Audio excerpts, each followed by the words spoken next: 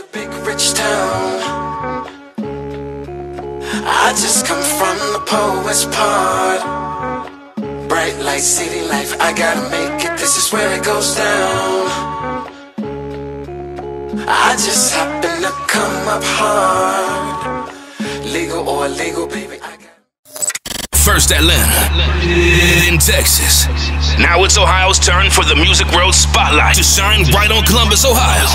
The Streetz Illustrated most respected brand is back, working with Birdman, Yo Gotti, Gucci Mane, and the industry's top dogs. Streetz Illustrated knows what it takes to kick in the door of the music industry. Give it to them. Columbus style. Streetz Illustrated presents YHA Yung Hitterz Association. 12 of the hardest MC will be chosen to rep Columbus on a national plateau. World Star Hip Hop. One song, one video, one city.